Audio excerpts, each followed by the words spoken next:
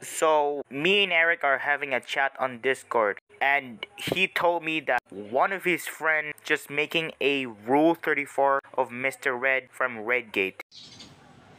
Okay, what the fuck? What in the actual fuck is wrong with your friend, Eric? Your friend is fucking weird. Their art is about Mr. Red with a dildo.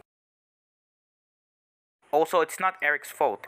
He didn't know that his friend is a Rule 34 artist. Eric, if you're seeing this, please tell them to stop making Rule 34 of my boy Mr. Red. Go outside and touch some grass, you fucking weird ass.